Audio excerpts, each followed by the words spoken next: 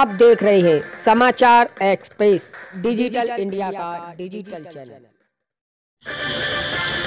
हाथरस जिलाधिकारी प्रवीण कुमार, लक्षागार के निर्देशानुसार स्कूलों में चलाया जा रहा बाल का सुरक्षा जागरूकता अभियान सादाबाद के एस के गौतम इंटर कॉलेज महावतपुर में बाल कल्याण समिति से आई नरेंद्र पचौरी व सामाजिक कार्यकर्ती प्रतिष्ठा शर्मा ने बालिकाओं को सुरक्षा संबंधी गुड टच, बैड टच निरोधक कार्यवाही, परिवार में सूचना देना तथा हेल्पलाइन नंबर, बच्चों के अधिकार, पुलिस में सूचना देना, बाल विवाह रोकना, बेटी बचाओ, बेटी पढ़ाओ, कन्या सुमंगला योजना व कन्या भूड़ हत्या से संबंधित जानकारियाँ दी।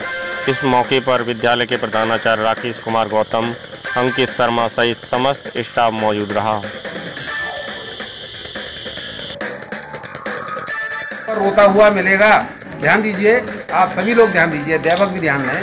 कोई बच्चा अगर सड़क पर रोता हुआ मिले और उससे जब आप पूछें और वो फिर अपना पता बताने लगे कि मैं खो गया हूँ, मेरा पता ये है, उस बच्चे को कोई भी लड़की, खास करके उसके घर पे पहुँचाने नहीं जाएगी। उसको कहाँ पहुँचा देंगे?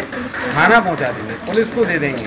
किसी बड़े को दे देंगे। क्योंकि अब एक गैंग हो गया इस तरह का कि बच्चों को पढ़ा करके किसी लड़की को गलत जगह ले इसलिए अलर्ट आया हम लोगों